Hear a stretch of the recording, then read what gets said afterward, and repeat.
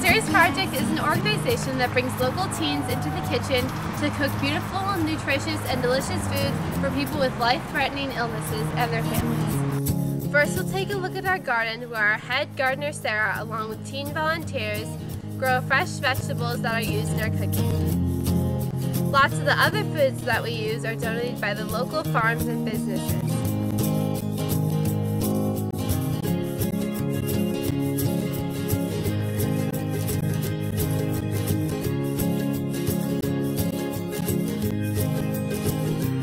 Then the vegetables that we grow in the garden are taken to the kitchen to be cooked.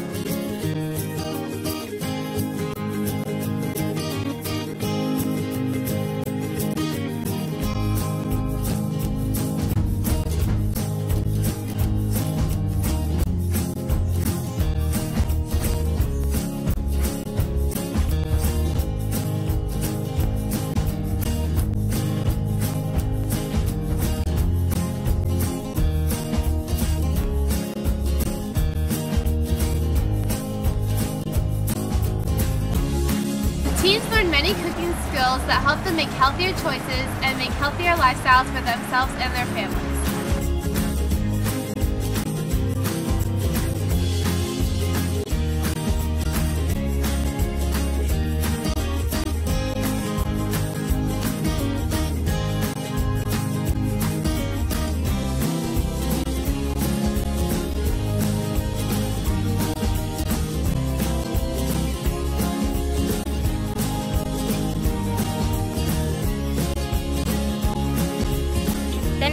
Delivery angels, which are adult volunteers, come to pick up the food and drive it to our clients.